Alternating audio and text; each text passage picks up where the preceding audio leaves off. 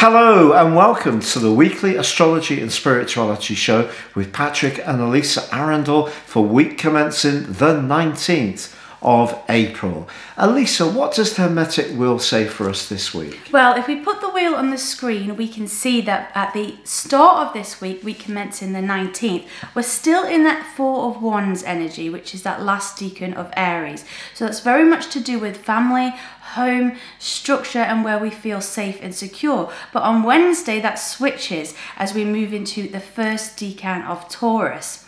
Now on the wheel we can see here that it is symbolized by the Five of Pentacles. The Five of Pentacles isn't the most easy energy if, if we're honest. It can mean that we feel a sense of lack, uh, particularly around our material world or our financial world. So it could be that we're weighing a few things up in the middle of this week, seeing where we need to share our resources and maybe seeing where we need to hold a few things back. Well, that's really interesting because on Monday this week we see the Sun and Mercury move moving into Taurus together.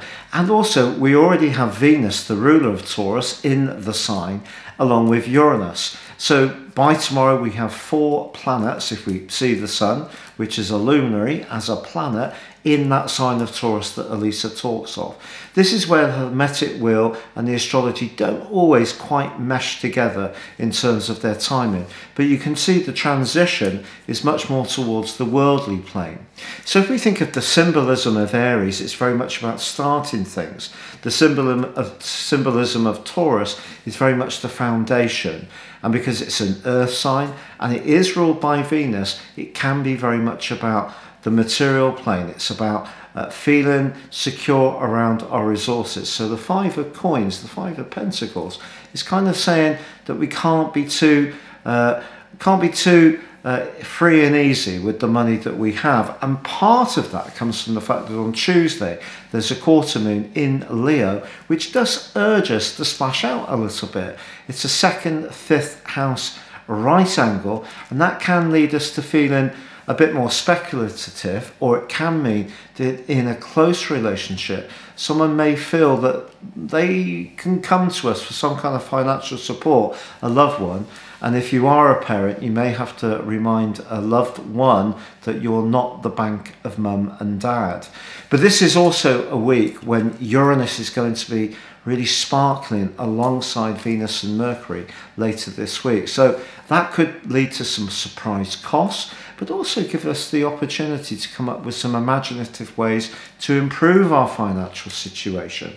Also, Mars is in a really amazing link with Jupiter through to Thursday, and we can use our communicational skills to really power something forwards with a lot of passion. But later this week on Friday, Mars does move into Cancer. And then it's asking us to think more about home, emotional, and security issues. So that links back to the energy of the sun in Taurus and also Alyssa's five of coins or five of pentacles.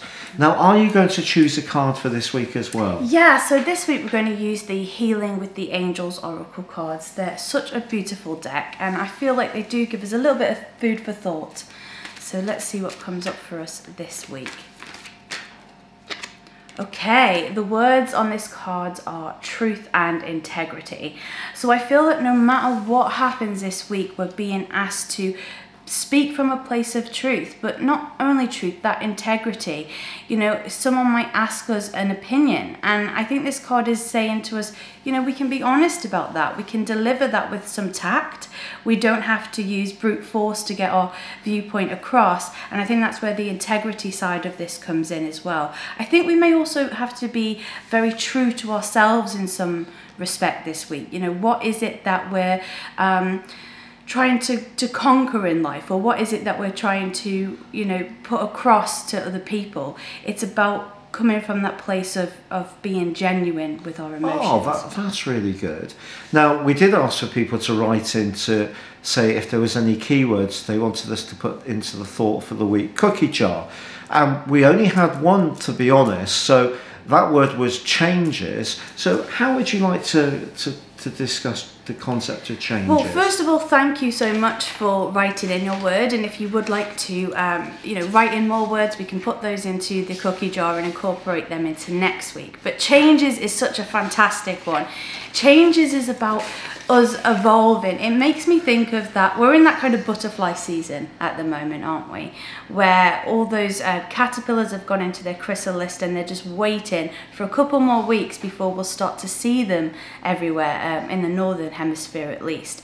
And that process of changing is very difficult for the butterfly. It's quite painful, they're quite restrained, um, and it is a process, but once it's they've gone through that process there's a real freedom that comes about from that and i think that is sort of a metaphor for how we can see change it's not always this easy process if we're leaving a job or we're moving through a different stage in our relationship or maybe we're going through some physical change in some way in terms of our fitness or, or health even it's not always that straightforward easy path but I think the ultimate end goal for when we're trying to change our life in a positive way is really worth that, that temporary struggle. Yeah, and I think people who work as potentially astrologers, potentially psychics, and so on have to be a little bit careful when we say to clients, oh, this is going to change. It's going to change in a positive way. Because, yes, for example, as you know, we're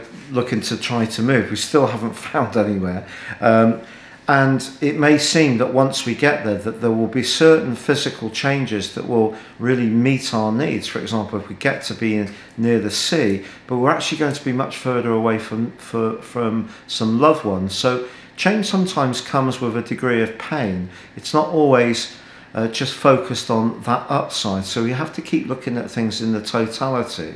So even if we leave an unhappy relationship, for example, if there are children involved, that could have an impact on their emotional health. Or you know, we could live in uh, less than ideal uh, financial or property circumstances in, in, in those kind of situations. So we can leave something that isn't working for us, but it doesn't mean that where we're going is always going to be absolutely a panacea for every single one of our needs. And perhaps there is a tendency to think that just changing something will in somehow solve it in, in its entirety. Mm. I don't think that's really true, is it? No, because we can sometimes end up chasing um, the change. And very often, this might sound a bit cheesy and a bit cliche, but very often the change has to happen within because if we're not happy in our current location, for example, uh, sometimes if we move, that will, you know, change things up and feel good. But sometimes we could move several times and still not quite find what it is we're looking for, especially if it's a more deeper spiritual uh, searching that we're looking for. Yeah, brilliant point. Well, of course, we have been asking for people to share their birthdays with us, and we did have several entrants this week. So, thank you so much for all your entries. I'm sorry only one person can be the winner. And what I'm going to do, I've actually put the winner, I've pinned the winner at the top of the week uh, commencing the 12th of April show. But I will also put Sarada C, who's the winner. I'll put Sarada's message from last week. I'll post that at the top of week commencing the 19th video so you can all see uh, what she shared. So Sarada was born in uh, The Hague in the Netherlands on the 22nd of April 1969 and uh, as you can see from the screen, you can see her wheel. So what are the notable things for me here? Well, her ascendant is conjunct a fixed star called Spica. Uh, her ascendant at 23 degrees 50 Libra. So this is someone with quite a graceful disposition. Uh, I think that would be true of you, Sarada, and I feel that you will come across in quite a, a, a genteel way. It is true that your ascendant and therefore your Spica position is in an opposition with Saturn, and both Saturn and the Sun are in conjunction in your seventh house of relationships. So I think that can be an area where you've had to show quite a lot of sacrifice, but maybe there have also been rewards. Now, the interesting thing about uh, your chart is also that Saturn and the North Node are both at 29 degrees. Saturn in the sign of Aries and the North Node at 29 degrees 44 in Pisces. which means they're both at the anaretic degree, so the last degree of that zodiac, of each of those zodiac signs. Now, some astrologers think that can be a very positive thing, others much less so. But certainly, in terms of the North Node, I think that would give you quite a pure spirit. And some people would argue that when you came into this world, you did so uh, as a fresh entry, that there wasn't a past life. Um, that would be interesting. So, if we did a draconic analysis of you, your chart would look very, very similar. Your moon is in the lovely Cancer, where it's uh, dignified, but it is in the ninth house. So you're now living in a different part of the world, which is interesting because the moon in the ninth house often craves new and different experiences in a degree of variety. But if we take the midpoint between the sun and the moon, the sun being at two degrees in Taurus, it's actually at six degrees in Gemini in the eighth house. So you're someone with quite a lively mind. You like challenges, the eighth house, you like to transform yourself in some ways. But at heart, I think there's quite a lot of air in your situation with that Libra and ascendant and that Gemini midpoint between the sun and the moon, which suggests that communication is important to you. Now, in terms of what this year brings for you, so your solar return for this year sees the ascendant at 20 degrees Pisces, so very, very close to Neptune. So I think it's possible that your sense of sensitivity to your environment is going to be very, very heightened. Um, but also that ascendant and also that uh, position of Neptune are squaring up your Mars and also your solar return midpoint, also in Gemini, uh, but this time at 29 degrees. I think there's going to be some changes on the home front, and it may be that there could be uh, something around a physical change, like changing where you live, or perhaps there could be some uncertainties around your home life. But I do think you're going to do well financially this year, and some of that financial change can come about in rather an unexpected way, but you can definitely draw good things to you as far as your resources are concerned. So that's Sarada, who now lives in Willemstad, in Curaçao, in the Netherlands Antilles. Now, I didn't know too much about this, so I went on to see where you live, and it's almost like a little Amsterdam in a, a, a kind of uh, uh, a tropical uh, setting uh, with very colourful houses, just like beside the canal. Uh, so it was wonderful to connect with you at that level, Sarada. So I hope that all makes sense to you.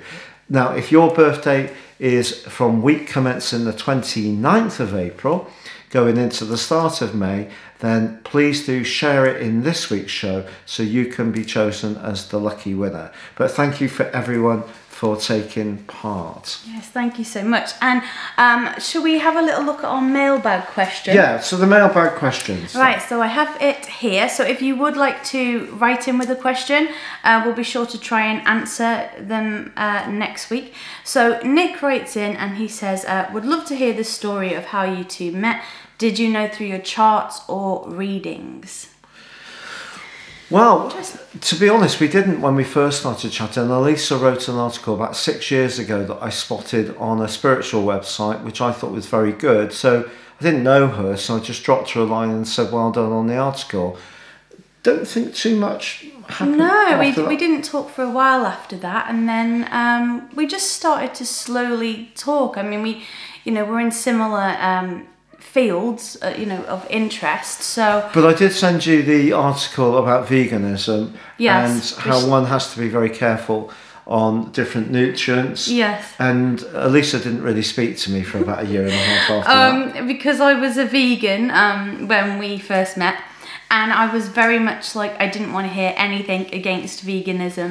Um, I felt very passionately and very strong about it, but also I felt like I'd done a lot of research about it, and I would cook for at least two or three hours a day, and so I kind of felt Looking back, do you think the article did show anything that you didn't know about at that time? probably yeah. What do you mean? Probably, definitely. Definitely, um, but I Like, the supplementation. Um, I, I B12 wasn't is the big one. Yeah, and chlor- chlorine, is it? Yes. Yeah. Chlorine. Yeah, I still take so it. yeah. um yeah that was really important so we, we didn't talk for a little while um and then um patrick was looking for somebody to help uh, with his marketing on instagram i think it was and reached out to me i had an interview Am- amongst two other people, I Yeah. might say. um One who decided, um, what somebody who'd worked for me before, who's very good and just didn't want to at that time, and the other person uh, decided not that she didn't want to. yeah so i was the last one left and um yeah See, Alyssa made that assumption. Not, I didn't say that's what happened. So um very open mind. Yeah, so we had an interview and it, it went well, and then we just started to connect after that, really. But Nick, you were asking about, you know, did it come up in readings? And it, it's funny you should say that because I was doing a lot of tarot at the time, particularly about my career. And I kept getting like the Two of Cups, the Lovers, and the King of Swords Ten of cups. the Ten of Cups. So even though my questions were very much related to career, they kept coming up with love answers, and I kept getting a little bit frustrated at that because um, You get frustrated. You're joking. I didn't know who this person um, could be, and um, one of the cards, I think it was the Emperor, can can if you get the Emperor and the Lovers together, especially with the Two of Cups, that can signify um, an older partner. So I kind of had in the back of my mind that we were connected, but I just really didn't feel uh, Patrick was interested in me in that way. Um, Well, I'd actually said that to you. you I? you did tell me outright that you weren't interested in me in that way. Well, I thought you were too young.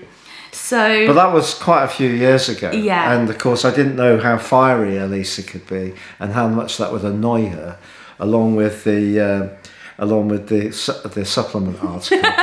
because I'd been a vegetarian for forty five years, so I know that uh, you can starve yourself of quite a few nutrients very easily, even if you think you're.